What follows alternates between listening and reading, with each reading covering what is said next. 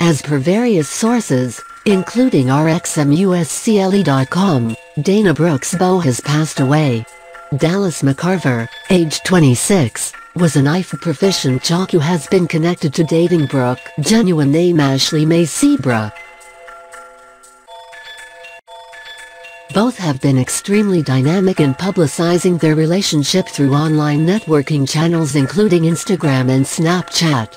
Not long ago, GenerationIron.com detailed that McCarver dropped out of the Australia finals when he fallen in front of an audience. Dallas was a most loved going into the Arnold Classic Australia yet crumbled in front of an audience amid prejudging.